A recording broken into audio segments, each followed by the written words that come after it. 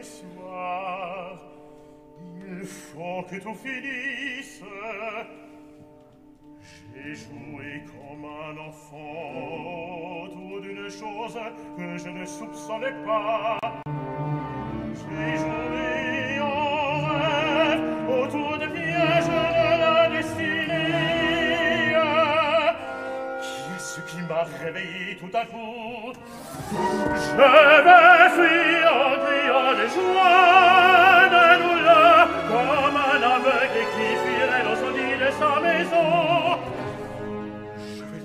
que je vais fuir.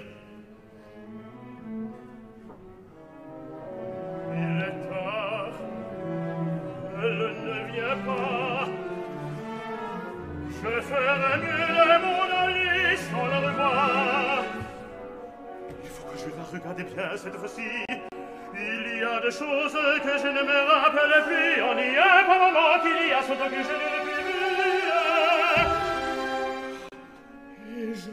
pas encore regardé son regard.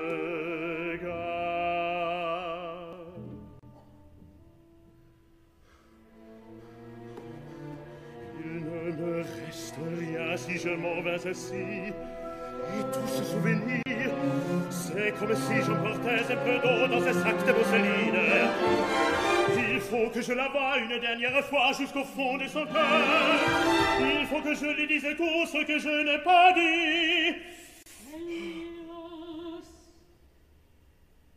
Mélisande, est-ce toi?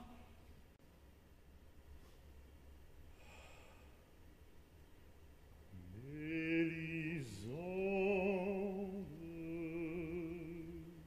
Ah, je respire enfin.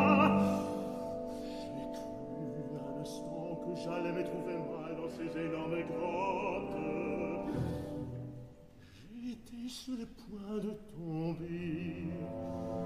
Il y a là un air humide et long comme une rose et des plans, et les ténèbres épaisses comme une pâte empoisonnée.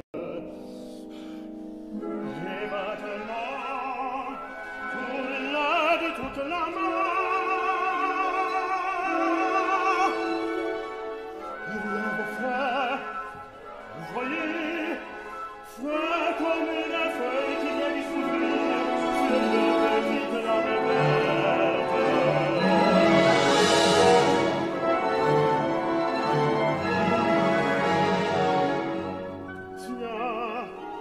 vient d'arroser les fleurs au bord de la terrasse et l'odeur de la verdure et des roses mouillées monte jusqu'ici.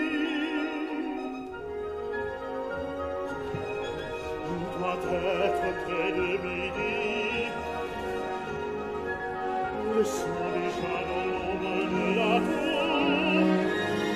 Elle est midi, j'entends sonner les cloches et les enfants